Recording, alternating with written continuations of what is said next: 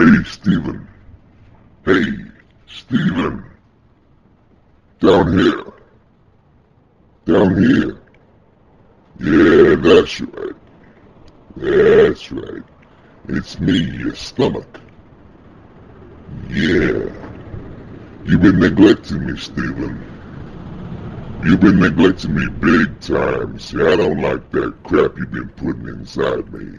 All that food and vegetables and soup and shit.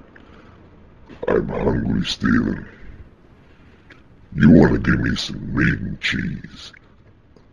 I want pizza. Pizza. You give me pizza, we good. You don't give me pizza, we can have a problem, Steven. That's right. Steven, you gonna give me some of that food, Steven.